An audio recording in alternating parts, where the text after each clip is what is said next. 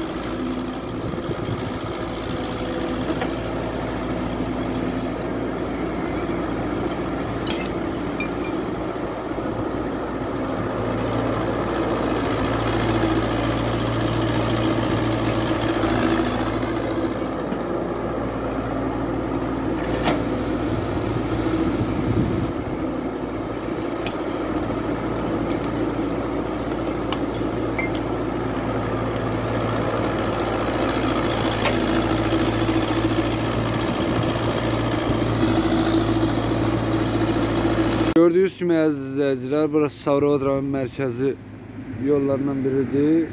Bu Türk bazarı deyilən bir ərazidir. Burada da bu zibil poligonu var, zibil quyusu var.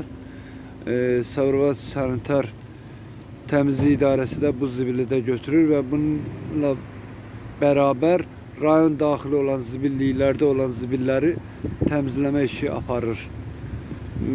Mən də öz növbəmdə Sabirabad rayon sanitar təmizləmə idarəsinin rəhbərliyi Rüstəm müəllimə və onun kollektivinə öz təşəkkürümü bildirirəm.